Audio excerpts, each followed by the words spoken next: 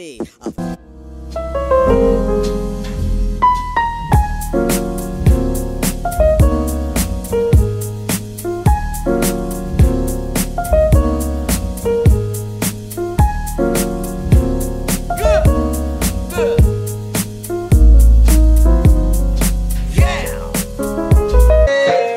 How could you be so cold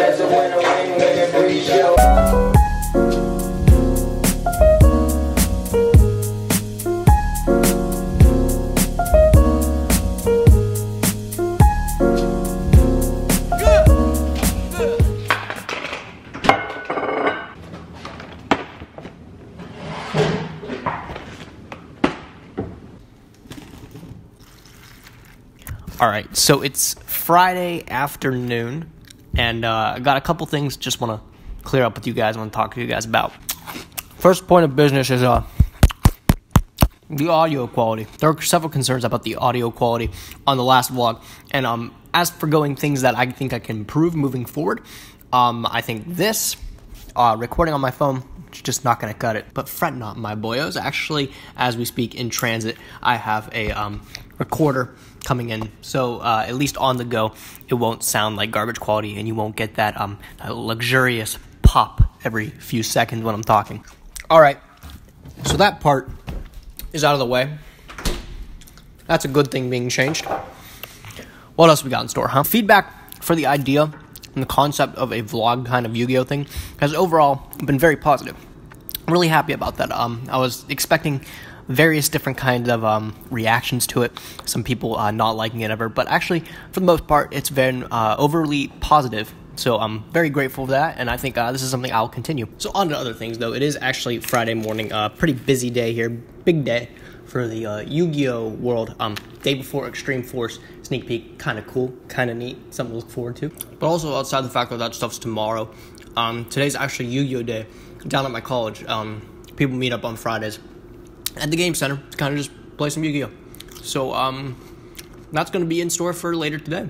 Stay tuned for that. However, uh, for the moment, I'm going to finish eating uh, God's Gift to Earth Oreos, and then uh, I'm going to take you guys to the lab.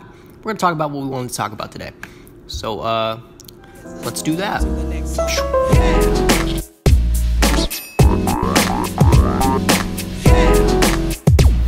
Random anecdote. Um, today, actually, while I was going out, I got lunch, and then I was going to just shoot some B-roll. Kind of what you're seeing now.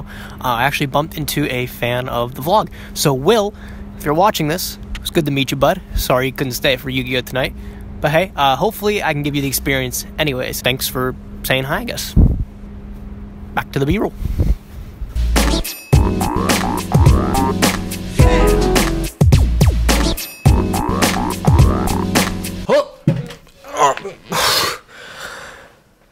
I want to talk about Inspector Boarder. What's up, my Nimrod? It's Gage coming back at you guys again with another dose of that fresh, never frozen Yu Gi Oh content. I thank you so much for spending just a couple of minutes with me here today to talk about a children's card game we both mutually enjoy so fucking much. So, with the Extreme Force sneak peek right around the corner, literally tomorrow, I thought I'd pick out one of my favorite cards from the set, and it might not be one that a lot of people are talking about, and that's actually Inspector Boarder, which is a level 4 machine light monster with the effect of cannot be normal summoned or special summoned while you control a monster. I'm gonna drag it right over here. Each turn, each player can only attempt to activate monster effects up to the number of monster card types, Ritual, Fusion, Synchro, XYZ, Pendulum, and Link on the field. So while it's a little bit of a mouthful, hopefully I can break it down for you guys to help you understand it. Amongst all the people talking about Hey Trunade and its ridiculous name change, uh, as well as, you know, Heavymetalfoes Electrum being two of the most uh, prominent chase cards of the set, I think. I think this one is one that's getting swept under a little bit. Some people I see talk about it and they get kind of hyped about it, but for the most part, it's just kind of low-key a a card. And while I don't think it might be the greatest card ever to boot, I do think it will be a good card at least at some point. I hope so. Inspector Boarder really kind of brings me back. It reminds me back of a simpler time in Yu-Gi-Oh! Back when stun decks were actually a thing. Really the last actual just straight up stun deck I think we've seen is just Rock Stun, which is a deck that revolves around all those rock monsters that do things. Uh, they all have a whole bunch of stun aspects, which is neat, but that deck is no longer good. The game's just sped up to a point where stopping one prominent effect uh, is just not enough to hold a deck back from doing ridiculous things.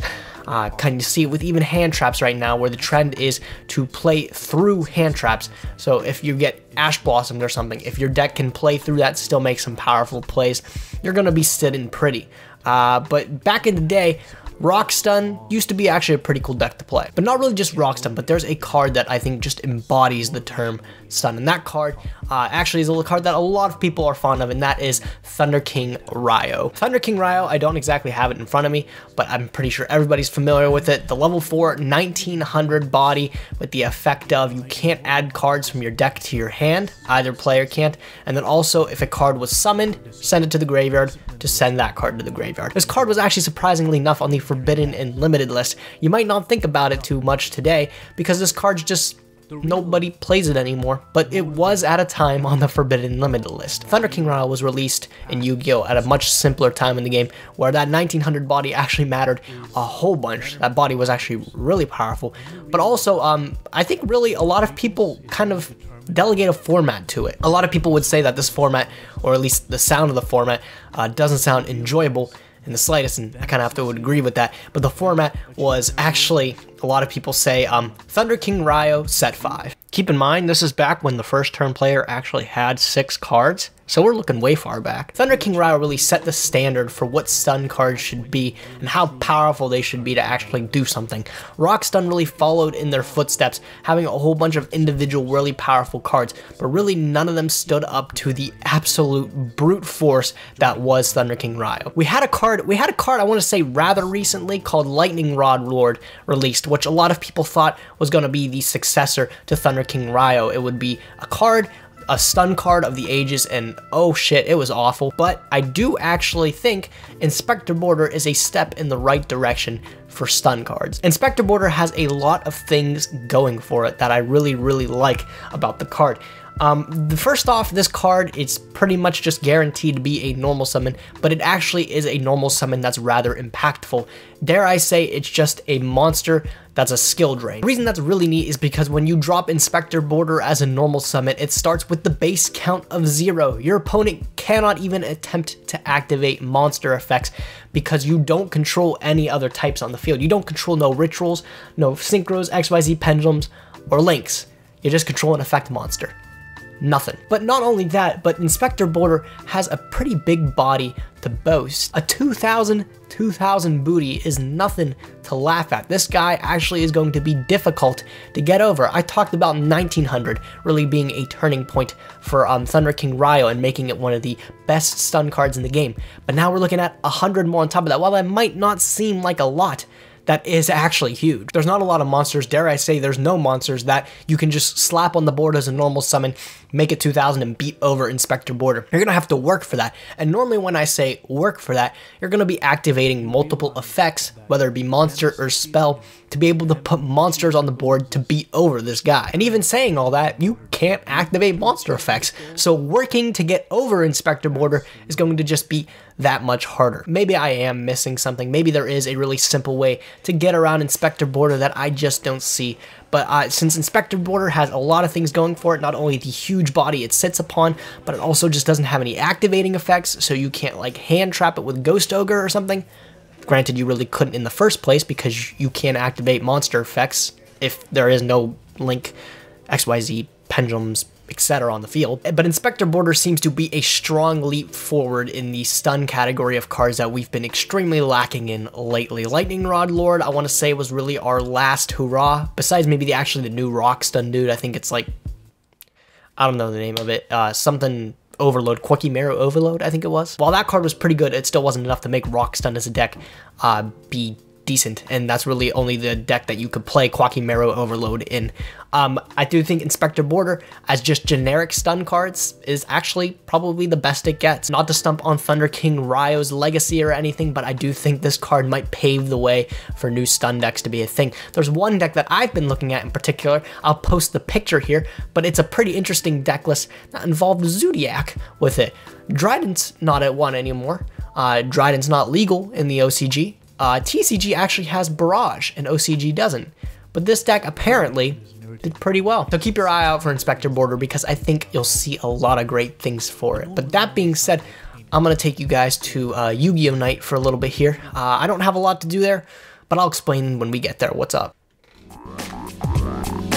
Let's go.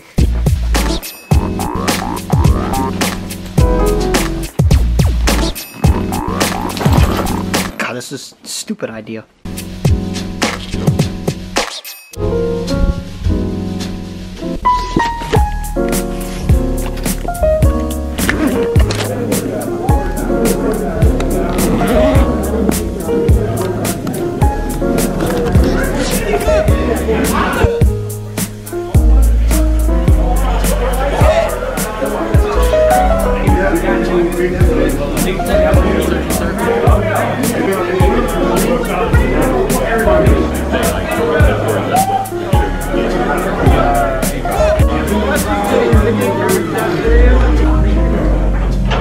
Playing uh, DBZ back there. You see, uh, I don't think I could play DBZ. I don't exactly have the uh, the ties that most people do with their childhood watching the show or whatever. Not my thing. But I have heard that the uh, attendance out in ARG is pretty crazy. Um, heard it's wild. It's a pretty good game from what I've heard. Not exactly the uh, largest turnout today out there at the game room.